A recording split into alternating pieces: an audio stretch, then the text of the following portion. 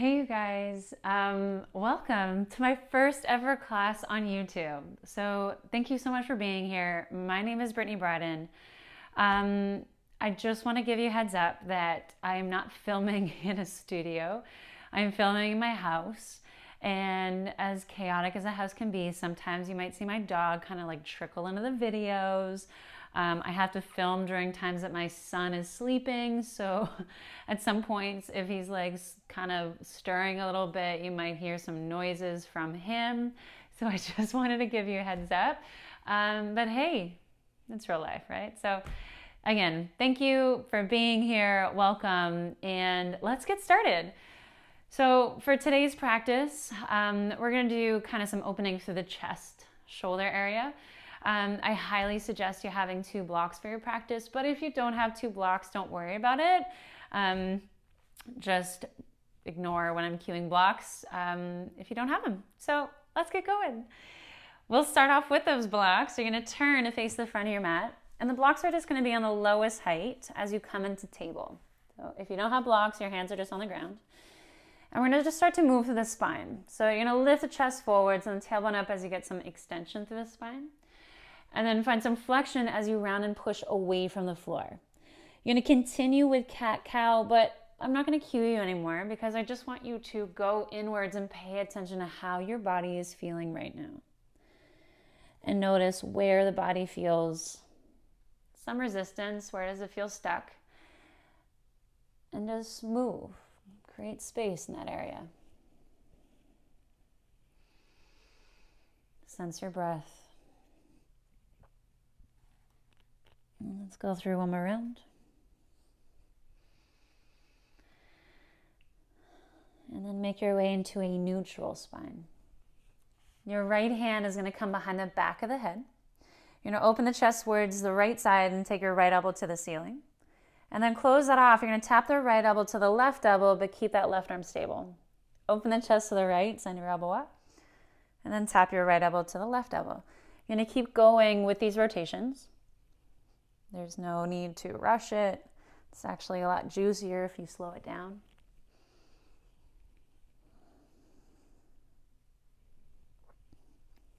And then the next time that you open up, reach your right arm to the ceiling and pull that top hand away from the bottom hand. And then slide or take that right arm underneath you. You're going to come in with thread the needle, so you might have to adjust your blocks. Your right arm's coming down on the floor and your head is just coming in between the blocks. So from there, you're going to come onto your fingertips. And as you press your fingertips into the floor block, you're to roll that left shoulder back, lift the chest up, but try not to shift through the pelvis. And mm, this is one of my favorites. Take a few more rests there.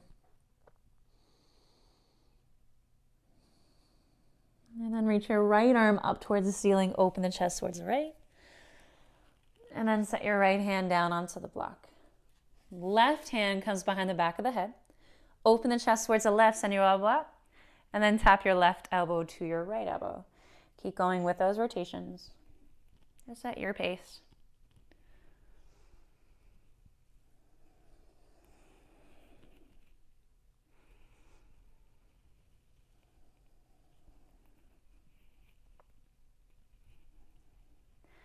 And the next time that you open up, reach that left arm up towards the ceiling.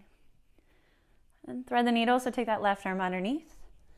Ground the left arm as well as that left ear, coming onto your left fingertips. Pressing the fingertips down, rolling the right shoulder back, lifting the chest. Keep in mind what's going on in the body from the pelvis down. And then reach your left arm back up towards the ceiling. And then set your left hand down onto the block. You're to tuck your toes under, pick the hips up and back, finding a down dog. So just making sure if you're using blocks that they're on the sticky part of the mat. And pedal at the legs, bending one knee, straighten the other, shifting side to side. If you are sliding a little bit, then make your down dog a little shorter than you usually do. And take a moment just finding stillness. I love the space that the blocks can give your body. You're to lift the heels up, bending your knees, and then walk forwards until your feet land behind the blocks. Keeping the knees bent, let your head just drop. Your hands can stay on the blocks, they can stay on the floor, you can reach for either elbow. Closing down the eyes, let the head hang. You can stay there in stillness or you can rock a little side to side.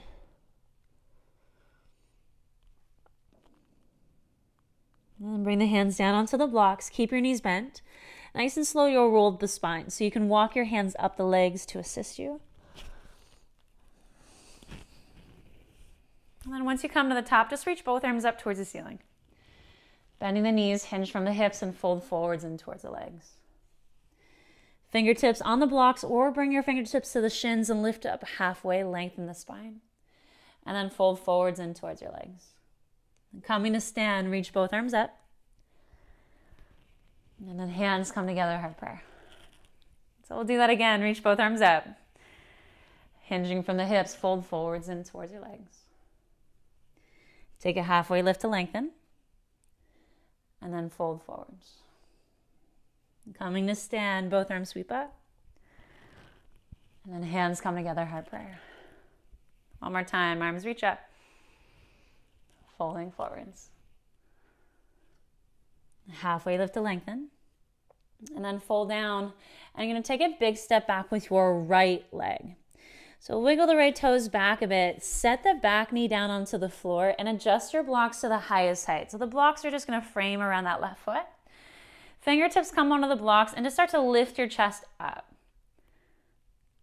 And then you shift the hips back, coming into a half split. Flex your left foot as you draw the toes back towards your face.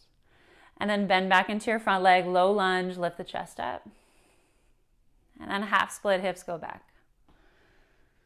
So one more time, you're gonna bend into your front leg. And then half split, so hips shift back. You can adjust your blocks closer to or either further away. That left leg does not need to be fully straight. So you can bend that knee as much as you need here. Keep drawing the toes back towards your face. And then you're gonna bend back into your front leg. Now I want you to take one of those blocks, doesn't matter which one, place the block in between the palm of the hands and reach the block up towards the ceiling. You're gonna bend the elbows and just rest the head or the block behind the back of the head. So if you don't have a block, just interlace the hands behind the back of the head Wrap the elbows in towards the midline. Lift the crown of the head up, tilt the elbows up, and then lean back just slightly.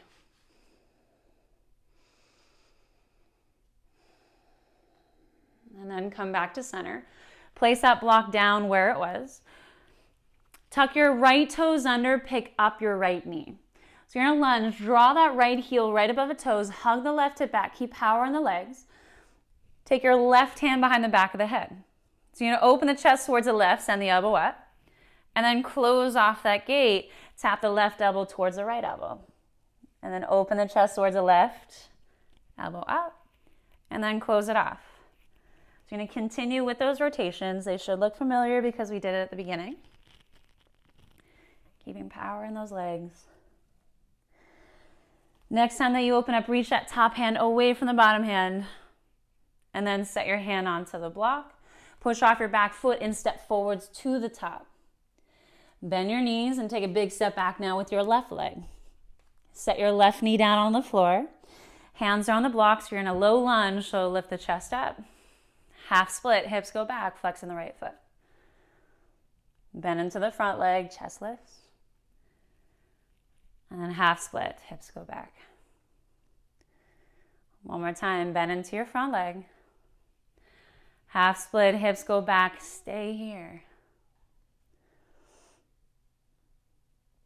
Bending into the front leg, taking whichever block you'd like. Place the block in between the palm of the hands, reach the block up, and then rest the block behind the back of the head, elbows wrap in. Lift the crown of the head up and then lean back into that block. Tilt the elbows up. Just make sure you're not holding the breath. It will be slightly restricted, but make sure you're not holding and tightening up.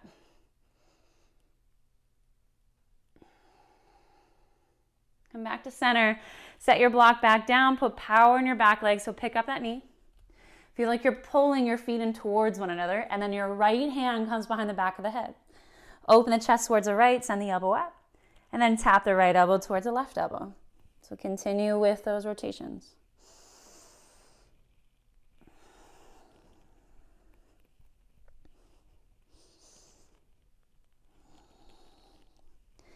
And the next time that you open up, reach your right arm to the ceiling. Set your right hand down onto the block. Adjust your blocks to the lowest height, framing the right foot, and step back into downward dog. You're gonna roll forwards into a plank. So you can either keep your knees up or set your knees down, but nice and slow, you're gonna bend the elbows and come all the way down in between the blocks. Shoulder heads rest on the blocks, arms reach back. Press the tops of the feet on the floor and press the back of the hands into the ground. Engage the inner thighs, engage your glutes.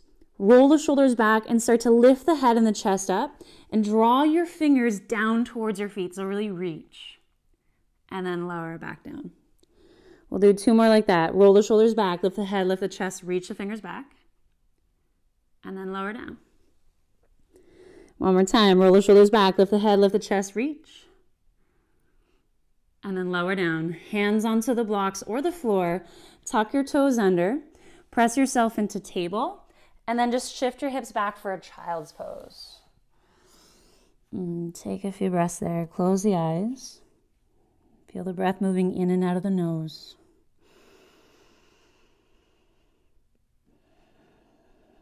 Witnessing what is pulling your attention, where the mind is trailing off to. And can you come back to the present? You're going to roll forwards in a table. And then just take your legs, come onto your bums, and just take your legs out in front of you. So give your legs a good shake. And you're going to take your blocks and create a T shape at the back of the mat. So I suggest starting with the blocks on the lowest height, but you can adjust them to any height that suits you. You'll just kind of play around with it. You want your bum to be comfortably on the ground. One block is going to support your upper thoracic, the other block will support your head. So you might have to walk your shoulder blades slightly underneath you and just rest the back of the hands on the floor. So you can either take your arms out into more of a T shape or you can slide your hands a little closer towards the glutes. Just depends on how the shape feels for you in the moment. Closing the eyes.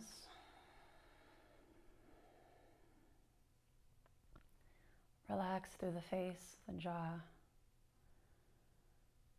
the neck.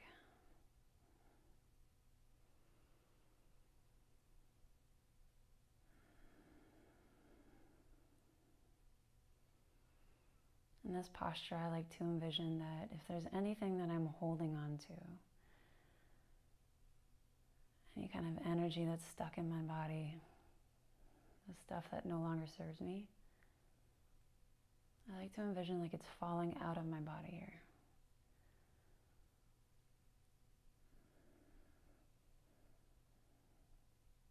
I no longer need it. What I need more is to create space, to soften.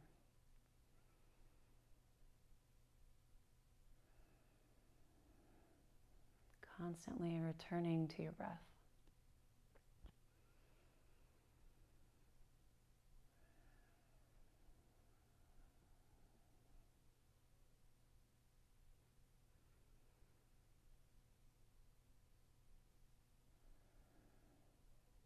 This is a great place to close off, especially if you're doing this practice first thing in the morning or maybe midday.